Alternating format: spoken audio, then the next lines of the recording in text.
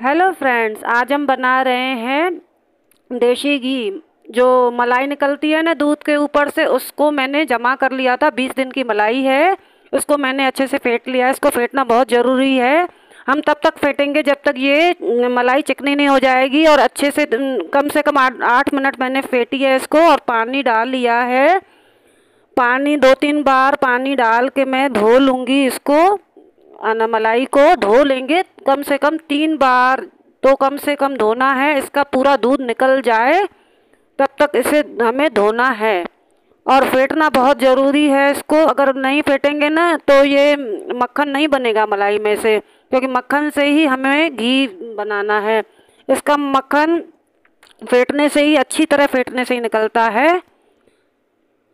अब ये मैं धो के निकाल रही हूँ इसको। ये है ना, बहुत अच्छा घी बनता है घर में बाज़ार में बहुत मिलावटी और मार्केट में नकली घी आता है। ये घर का देसी घी बहुत अच्छा तैयार होता है। एक बार और धोएँगे, दो बार इसमें धोया था, एक बार और मैं धो लूँगी इसको और फिर मैं इसको गैस पे चढ़ा के इसका घी बना लूँगी। ये भी हमारा धुल गया और ये गैस पे चढ़ा लिया मैंने। और उसको बीच बीच में चलाते हुए हम बनाएँगे। और धीमी आँच पे बनाना है, तेज़ आँच पे नहीं बनाना है घी को, नहीं तो जल जाएगा।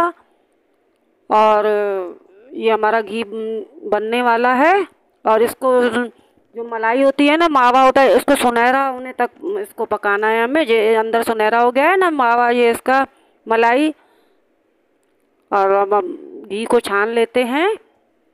दबा के इसको घी निकालेंगे, इस मलाई में को दबा लेंगे छन्नी पे, ताकि ज़्यादा से ज़्यादा घी निकले।